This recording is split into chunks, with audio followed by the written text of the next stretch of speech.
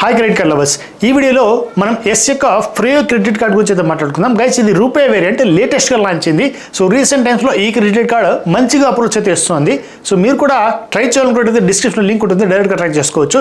మరి ఈ వీడియోలో ఏం చెప్తారంటే మీకు ఈ ఫ్రీ క్రెడిట్ కార్డ్ యొక్క ఫీచర్స్ చాలా సింపుల్గా అయితే ఉంటాయి గైస్ ఇక్కడ మనకి అన్లిమిటెడ్ క్యాష్ బ్యాక్ ప్రొవైడ్ చేస్తారు. One percent unlimited cash back provide చేస్తారు. ఇక్కడ మీరు ఆన్లైన్ ఆఫ్లైన్ ఏ మార్కెట్లో అది యూజ్ చేసుకోవచ్చు. అలాగే ఇక్కడ వన్ పర్సెంట్ ఫ్యూయల్ సర్చార్జ్ వేరు ఉంటుంది.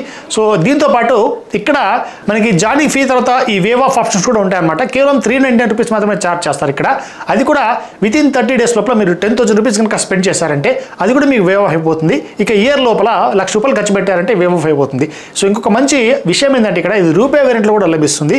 యూపీఐ ట్రాన్సాక్షన్ చేసుకున్నా కూడా మీకు ట్రాన్సాక్షన్స్కి క్యాష్ బ్యాక్ అనేది వస్తుంది గైస్ సో ఇదంతా ఓవరాల్గా చూసినట్టయితే ఇది బెస్ట్ క్రెడిట్ కార్డ్ అని చెప్పుకోవచ్చు. సో ఎస్ బ్యాంక్ యొక్క క్రెడిట్ కార్డ్స్ అయితే మంచి అప్రోచ్ అయితే ఇస్తున్నారు అనమాట కేవలం ట్వంటీ వన్ ఇయర్స్ నుంచి సిక్స్టీ ఇయర్స్ లోపల ఎలిజిబిలిటీ క్రైటీరియా ఉండాల్సి ఉంటుంది. మినిమం ఒక ట్వంటీ ఫైవ్ థౌసండ్ మీ యొక్క ఇన్కమ్ సోర్స్ అని చూపించాల్సి ఉంటుంది పర్ ఇయర్ సో బెటర్గా ఉంటుందన్నమాట. ఇన్ఫాక్ట్ మీరు బిజినెస్ పర్సన్స్ అయినట్టయితే ఫైవ్ లాక్స్ ఐటీఆర్ చూపించినట్టయితే ఈ క్రెడిట్ కార్డ్ వచ్చే అవకాశం అయితే ఉంటుంది గైస్ సో ఓవరాల్ ఇవన్నమాట దీని యొక్క eligibility and criteria and features మరి దీన్ని ఎలా అప్లై చేసుకోవాలంటే మీకు సింపుల్గా ప్రాసెస్ అయితే ఎక్స్ప్లెయిన్ చేస్తాను. So Yes Bank credit cards ఏ కార్డ్కైనా కూడా ప్రాసెస్ ఒకటే ఉంటుందన్నమాట. మీరు చేస్తుంది వీడియోని కంప్లీట్గా చూసినట్టయితే స్టెప్ బై స్టెప్ ప్రాసెస్ మీకు ఎక్స్ప్లెయిన్ చేస్తాను గైస్ బట్ ఇక్కడ నేను ఎస్ బ్యాంక్ ఒక ఫ్రీ క్రెడిట్ కార్డ్కి అప్లై చేయట్లేదు. వేరే క్రెడిట్ కార్డ్ అప్లై చేసినా కూడా ప్రాసెస్ ఎలా ఉంటుందో మీకైతే సేమ్ టు సేమ్ ఎక్స్ప్లెయిన్ చేస్తాను. సో వాచ్ చేయండి. మీకు ఏమేమి ఇన్కమ్ ప్రూఫ్స్ కావాల్సి వస్తాయి ఎటువంటి డాక్యుమెంట్స్ అడుగుతుంది సో వీడియో కేవైస్ ఎలా చేసుకోవాలి ఇవన్నీ కూడా డీటెయిల్గా మీకు తెలియలో చూపిస్తాను గైస్ మరి ఆలోచించకుండా ఆ వీడియోలో వెళ్ళిపోదాం. Let's get into the topic guys మీరు కనుక ఫస్ట్ టైం వచ్చినట్టయితే నా ఛానల్ వెంటనే సబ్స్క్రైబ్ చేసుకోండి. మరి నచ్చినట్టయితే ఈ వీడియోని ఖచ్చితంగా లైక్ చేసి మీ ఫ్రెండ్స్తో షేర్ కూడా చేసుకోండి. సో డిస్క్రిప్షన్లో లింక్ ఇచ్చా కదా ఈ Freo yes bank credit card సంబంధించి రూపే వేరియంట్ కావచ్చు వీసా వేరియంట్ కావచ్చు. ఇక్కడ ఇంకొక విషయం ఏంటంటే రూపే వేరెంట్ కనుక మీరు తీసుకున్నారంటే ఇక్కడ వర్చువల్ క్రెడిట్ కార్డ్ రావడం దొరుకుతుంది వీసా వేరెంట్ అప్లై చేసినట్టయితే మీకు ఫిజికల్గా కార్డ్ వస్తుందన్నమాట.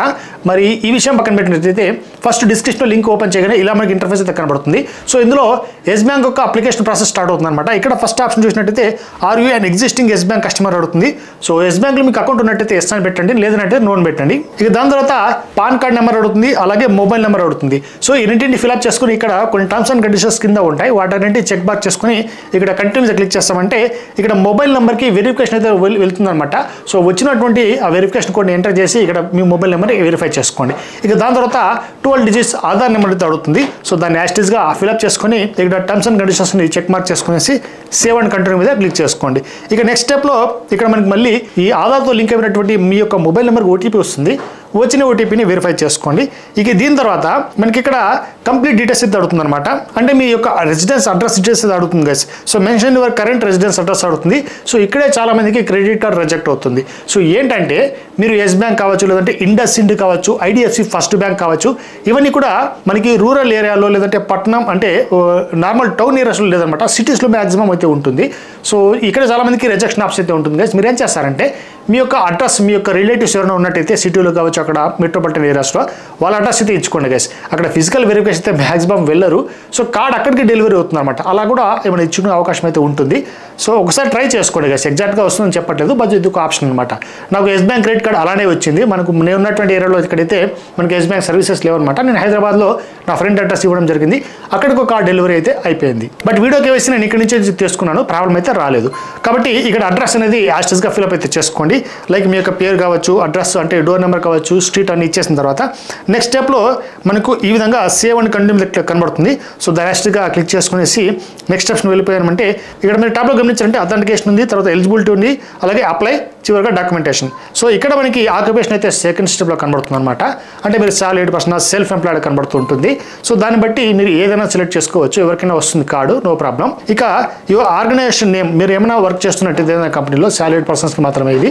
సో అక్కడ మీ యొక్క ఆర్గనైజేషన్ నేమ్ అనేది మెన్షన్ చేసుకోవచ్చు. అలాగే మీరు ఆఫీస్లో వర్క్ చేస్తున్నట్టయితే కింద ఆఫీస్ అడ్రస్ కనబడుతుంది.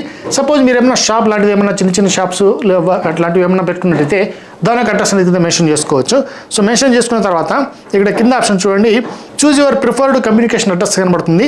సో మీకు రెసిడెన్స్ అడ్రస్కి కార్డు వెళ్ళాలా? లేదంటే ఆఫీస్ అడ్రస్కి వెళ్ళాలనేది మీరే డిసైడ్ చేసుకోవచ్చు. మీకు నచ్చిన ఆప్షన్ ఇక్కడ సెలెక్ట్ చేసుకునేసి సేవ్ అండ్ కంటిన్యూ మీద క్లిక్ చేస్తామంటే ఇక ఫర్దర్గా ఇక్కడ మనకి ఇన్కమ్ ప్రూఫ్ సంబంధించి ఎలిజిబిలిటీ క్రైటీరియా ఉంది కదా? సో దానిలో అడుగుతుంది అనమాట సో ఏంటంటే ఎగ్జిస్టింగ్ లోన్ లేదా క్రెడిట్ కార్డ్ ఏమైనా ఉందా అని అడుగుతుంది. అలాగే ఐటీఆర్. సో ఇంకొక మంచి ఆప్షన్ అయితే ఇక్కడ మనం ప్రొవైడ్ చేస్తారు. మీకు ఏమైనా ఎగ్జిస్టింగ్ క్రెడిట్ కార్డ్ ఏమైనా ఉన్నట్టయితే ఆ క్రెడిట్ కార్డ్ బేస్ మీద కూడా మనకి కార్డ్ అయితే వస్తుంది అనమాట సో మీకు నచ్చిన ఆప్షన్ ఇక్కడ సెలెక్ట్ చేసుకోవచ్చు. ఇక్కడ శాంపుల్ కోసం ఐటీఆర్ అయితే తీసుకున్నా. లైక్ మీ దగ్గర ఏమైనా ఓల్డ్ క్రెడిట్ కార్డ్స్ ఉన్నట్టయితే దానికి సెలెక్ట్ చేసుకున్నట్టయితే ఏ బ్యాంక్ క్రెడిట్ కార్డు ఉంది? సో దానికి లిమిట్ ఎంత అని అడుగుతుంది. అక్కడ మీరు దానికి కావాలంటే కార్డ్ టు కార్డ్ బేస్ మీద కూడా ఇక్కడ అప్లై చేసుకున్న ఆప్షన్ అయితే వీళ్ళు ప్రొవైడ్ చేస్తారు. సో ప్రజెంట్ ఇక్కడ ఐటీఆర్ అయితే తీసుకున్నాం. అలాగే యాన్యువల్ ఇన్కమ్ ఇవన్నీ ఫిల్అప్ చేసిన తర్వాత మీకు ఈ క్రెడిట్ కార్డ్తో పాటు వేరే కార్డ్స్ ఏమైనా ఎలిజిబుల్ అయినట్టయితే ఈ విధంగా కనబడతాయి అనమాట సో మీకు నచ్చిన కార్డ్ని ఇక్కడ సెలెక్ట్ చేసుకోవచ్చు. శాంపుల్ కోసం ఇక్కడ బిజినెస్ ప్రాస్పరిటీ ఇవన్నీ కూడా కనబడుతున్నాయి. సో ఇవన్నీ కూడా లేటెస్ట్ టైమ్స్లో మారిపోయాయి Yes ACE credit card so ఇలా మారాయన్నమాట. సో మీకు కార్డ్ సంబంధించి అలా ఆప్షన్స్ కూడా కనబడుతుంటాయి. అక్కడే అంటే ఫీచర్స్ కూడా కనబడుతుంటాయి. దాని యొక్క ఛార్జెస్ కూడా కనబడుతుంటాయి మీకు నచ్చిన కార్డు అక్కడి నుంచి మీరు కావాలంటే డైరెక్ట్గా సెలెక్ట్ చేసుకోవచ్చు. ఇక మీకు నచ్చిన కార్డ్ని సెలెక్ట్ చేసుకున్న తర్వాత నెక్స్ట్ స్టెప్లో మళ్ళీ పర్సనల్ డీటెయిల్స్ అడుగుతుంది. లైక్ మీ యొక్క కార్డ్ మీద ఎటువంటి పేరు రావాలి? అలాగే మీ యొక్క మ్యారేజ్ స్టేటస్ ఏంటి? ఫాదర్స్ నేమ్ ఎడ్యుకేషన్ క్వాలిఫికేషన్స్ తర్వాత రెసిడెన్స్ అడ్రస్ ల్యాండ్ లైన్ ఇవన్నీ పర్సనల్ డీటెయిల్స్ అని అడుగుతుంది అనమాట వీటన్నీ ఫిల్అప్ చేసుకునేసి దీని తర్వాత చివరిగా పర్మనెంట్ అడ్రస్ అడుగుతుంది. సో ఈ పర్మనెంట్ అడ్రస్ కూడా చాలా మందికి రెసిడెన్స్ అడ్రస్ పర్మనెంట్ అడ్రస్ ఒకటి అయితే ఉంటుంది. సో దాన్ని ఎస్టీజీ మళ్ళీ ఫిల్అప్ చేసుకోండి. సేవ్ అండ్ కంట్రీ మీద క్లిక్ చేయగానే ఫర్దర్గా మీ యొక్క ఎంప్లాయ్మెంట్ డీటెయిల్స్ మీ యొక్క టైప్ ఆఫ్ కంపెనీ అంటే ఏ ఏ టైప్ ఆఫ్ కంపెనీలో పనిచేస్తున్నారు అంటే మ్యానుఫ్యాక్చరింగా లేదంటే ఏమైనా సర్వీసెస్సా ఐటీనా సో గవర్నమెంట్ కంపెనీనా ఇటువంటి వాటికి అడుగుతుంది అనమాట అలాగే ఇండస్ట్రీ కూడా సో దాంట్లో ఏమైనా సబ్ సబ్ టైప్స్ ఉన్నట్టయితే కూడా అడుగుతుంది. తర్వాత డిపార్ట్మెంట్ అలాగే డిజగ్నేషన్. సో ఇవన్నీ ఇక్కడ ఎందుకు తీసుకుంటారంటే సాలరీ తీసుకున్నా కాబట్టి ఈ విధంగా కనబడుతుంది అనమాట మీరు నార్మల్గా సెల్ఫ్ ఎంప్లాయిడ్ లాంటి తీసుకున్నట్టయితే ఇన్ని ఆప్షన్స్ అయితే రావు గైస్ ఇక అలాగే బిజినెస్లో ఎన్ని ఇయర్స్ నుంచి చేస్తున్నారు? తర్వాత ఎంప్లాయ్మెంట్ అంటే పీరియడ్ ఆఫ్ బిజినెస్. సో ఎప్పటి నుంచి చేస్తున్నారు? ఇవన్నీ డీటెయిల్స్గా మనం ఫిల్ చేయాల్సి ఉంటుంది. సో ఓపిక్గా అయితే చేసుకోండి. ఇక నెక్స్ట్ స్టెప్లో ఇక్కడ మనకి do have any relationship with any director or senior officer of Yes bank అడుగుతుంది. సింపుల్గా దాన్ని నో క్లిక్ చేసుకోండి. అలాగే నామినీ డీటెయిల్స్ అడుగుతుంది అనమాట మీకు నామినీ డీటెయిల్స్ ఇక్కడే ఎంటర్ చేసుకోవచ్చు లేదంటే కార్డు వచ్చిన తర్వాత మళ్ళీ కూడా ఎంటర్ చేసుకోవచ్చు. సో ఇక్కడ మీరు ఏమైనా సెలెక్ట్ చేస్తారంటే మీ రిలేషన్షిప్ పడుతుంది అనమాట నామినీతో. లైక్ మీ వైఫ్ కావచ్చు తర్వాత వచ్చి మీ పేరెంట్స్ కావచ్చు మీ సిబ్లింగ్స్ అలా అనమాట ఇవన్నీ సేవ్ అండ్ కంటిన్యూ మీద క్లిక్ చేసిన తర్వాత చివరిగా డాక్యుమెంట్స్ మీరు ఇక్కడ ఇన్కమ్ ప్రూఫ్ దగ్గర డాక్యుమెంట్స్ అయితే తీసుకున్నారు కదా అక్కడ క్రెడిట్ కార్డ్ తీసుకున్నట్టయితే క్రెడిట్ కార్డ్ యొక్క స్టేట్మెంట్ ఇక్కడ అప్లోడ్ చేయమని అడుగుతుంది.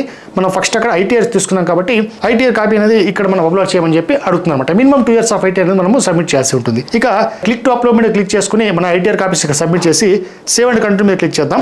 క్లిక్ చేసిన వెంటనే మనకి ఇక్కడికి అప్లికేషన్ ప్రాసెస్ అనేది కంప్లీట్ అయిపోతుంది. ఇక నెక్స్ట్ స్టెప్ ఏంటంటే కింద గమనించారంటే ఇక్కడ కేవైసీ ప్రాసెస్ అనేది వీడియో కాన్ఫరెన్స్ రూపంలో జరుగుతుంది అనమాట సో దీనికోసం కంట్రీ మీద క్లిక్ చేద్దాం. క్లిక్ చేసినట్టయితే ఇక్కడ మనకి ఎస్ బ్యాంక్ నుంచి ఒక ఏజెంట్ అయితే కనెక్ట్ అవుతాడు. సో దీనికోసం ఫర్దర్గా మన దగ్గర ఒరిజినల్ పాన్ కార్డ్ ఉండాల్సి ఉంటుంది బ్లాంక్ వైట్ పేపర్ పెన్ ఉండాల్సి ఉంటుంది అనమాట మీ యొక్క సిగ్నేచర్ వాళ్ళు కాపీ చేసుకుంటారు అంటే ఫోటో తీసుకుంటారు గైస్ ఇక నెక్స్ట్ స్టెప్లో మనకి ఇలా ఫర్దర్గా చూస్తున్నట్టయితే మనకి ఎవరు కనెక్ట్ అవుతారో వాళ్ళ పేరు కనబడుతుంది. సో కనబడిన తర్వాత ఇక్కడ వీడియో కేవైసీ స్టార్ట్ చేయడానికి కొన్ని పర్మిషన్స్ ఇవ్వాల్సి ఉంటుంది. లైక్ మీ వీడియో కాల్ సంబంధించి అలాగే మైక్రోఫోన్ సంబంధించి పర్మిషన్స్ ఇవ్వాల్సి ఉంటుంది. వీటిని ఏంటంటే అలో చేసేయండి. అలో చేయగానే ఆటోమేటిక్గా ఇక్కడ మనకి ఏజెంట్ అనేది డైరెక్ట్గా కనెక్ట్ అయిపోతారు.